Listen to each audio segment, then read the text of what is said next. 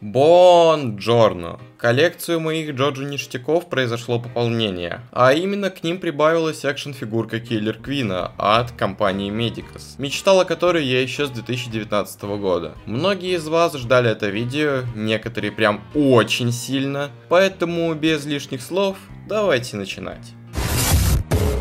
Первостепенно я бы хотел поблагодарить своего друга Егора из Collective Parcel, что помог мне с покупкой и доставкой данной фигурки. Так что, если вы также хотите приобрести фигурку или что-то другое, то Егор сможет вам помочь в этом. Поэтому ссылка на его паблик в описании. Начнем с того, что данную фигурку я себе захотел сразу же, как посмотрел в 2019 году аниме по четвертой части. Я влюбился в Киллер Квин и хотел бы, чтобы его мини-версия стояла у меня на полке. Вот вам сразу ответ, почему я купил фигурку станда главного злодея четвертой части в начале начале, а не самого Киру первостепенно. И я и мечтать не мог, что это когда-нибудь случится. Поэтому 2021 год я воистину могу назвать годом исполнения меч, так как вначале мне удалось купить Рохана, затем Киллер Квин и много чего еще хорошего случилось со мной. Надеюсь, так будет и дальше. Приобрел я данную фигурку там же, где и Рохана, на Hobby Link Japan, где-то за 7600 рублей, с учетом доставки. В этот раз я покупал на свои отложенные кровные, решил себя побаловать и это того стоило. Живем один раз как-никак, и шанс покупки данной фигурки я не мог упустить. Но, если кто-то из вас хочет материально помочь с фигуркой Киру Яшикаги или просто так, то сделать вы это можете по ссылке в описании, если хотите.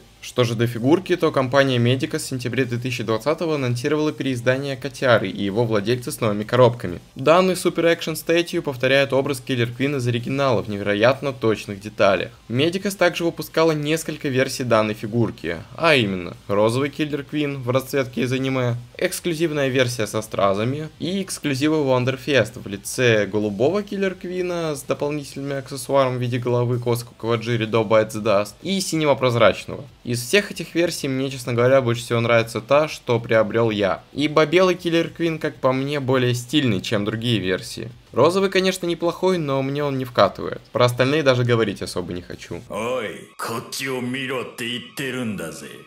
Розовый подошел бы больше Кире Йошикаге из восьмой части. Теперь я предлагаю перейти к самым главным элементам данного видео, а именно к анбоксингу и обзору данной фигурки. Съемка здесь все еще не идеальна, в этот раз я сменил место, и скажите как вам? Стало лучше или прошлый задний фон вам нравился больше? Вот так выглядит коробка от данной фигурки. Вот вам сравнение с коробкой Рохана. И да, коробка Killer Queen по сравнению с коробкой Рохана выглядит довольно маленькой. Также я нашел лучшие и стильные перчатки, какие только можно было придумать. Так что отныне все распаковки будут проходить в них, и никак иначе. Коробка от фигурки выполнена в стиле персонажа и расцветки данной версии по бокам, сзади, где можно увидеть комплектующие фигурки, сверху и снизу. Теперь пришла пора достать стант из коробки. Сама фигурка была упакована аккуратно и прочно, даже лучше, чем Рохан. В комплекте также идет инструкция по фигурке и другая макулатура.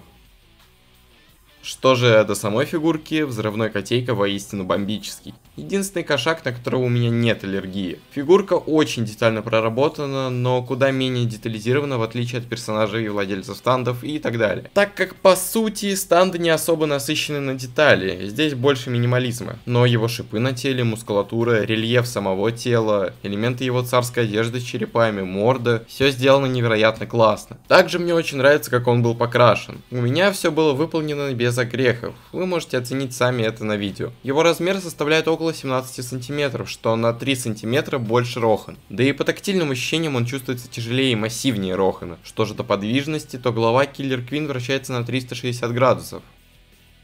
То же самое касается рук, ног и ступней. Также имеется место сгиба в носке, Торсом можно делать круговые вращения, а вот нижняя часть туловища полностью неподвижна. Сразу отмечу, что фигурка куда более подвижна, нежели Рохан. Не знаю, касается ли это всех стандов, но видимо шарниры персонажей и стандов отличаются. Фигурка сзади, и вот в случае стандов шарниры видны еще сильнее. У него имеется множество аксессуаров, о которых мы сейчас и поговорим. Сменные кисти рук с детонатором, стандартные сжатым кулаком, родскеры и две расслабленные ладони. Сами руки также невероятно и детально проработаны, особенно выпуклый принц Шир Харт Атаком. Ну и самым главным и милым аксессуаром является Stray Cat, другой кошак, на которого у меня нет аллергии, который может быть как в горшке, так и с корнем, чтобы его можно было держать в руке или поставить. Правда, в руку его поставить Киллер Квину никак нельзя, только если как-то исхитриться.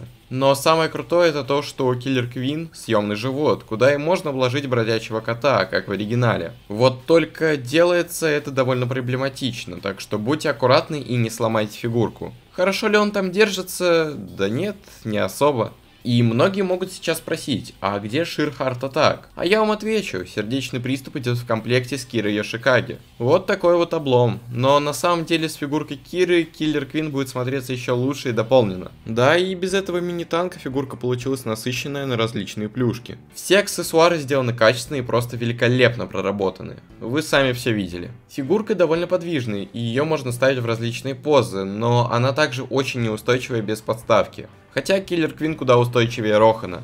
Подставка и штатив здесь точно такие же, как и в комплекте с другими фигурками. Ну а теперь переходим к выводу.